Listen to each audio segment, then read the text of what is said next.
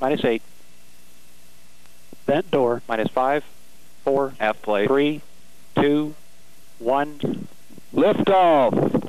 We have ignition and Plus three. 100% thrust on the RD-180. Five. two good SRBs, and the vehicle has cleared the tower. Booster hydraulics are up and running as expected. Coming up on pitch program, we do have pitch program in. Everything looks good. And SRB chamber pressure has peaked out, rolling off as expected. RD-180 continues to operate normally. Everything looking good. Engine Engines continue to operate normally.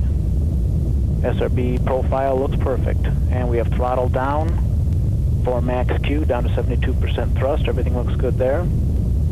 SRBs continue to operate normally.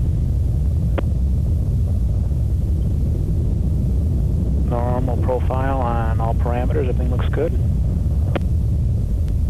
And we have closed loop control on booster PU. Everything looks good. SRBs continue to operate normally. We are throttling back up to 100% thrust. Levels look good. Signature looks good. SRBs burning normally.